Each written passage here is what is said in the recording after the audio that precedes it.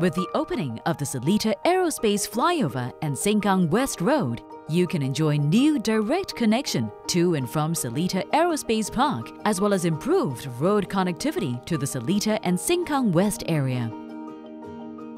These are the new routes when traveling from TPE PIE Changi, going to the new Sengkang West Road towards Yio Chu Kang Road,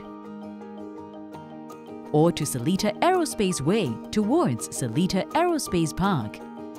When traveling from TPE PIE Changi, continue straight to go to SLE and BKE, or keep left to take the existing Exit 12 if you're heading to Seletar Aerospace Way or Sengkang West Road.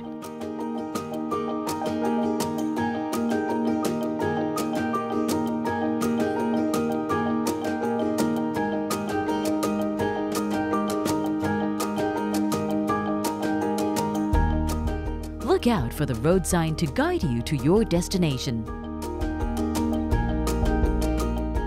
Turn left to Sengkang West Road to head towards Yio Chu Kang Road.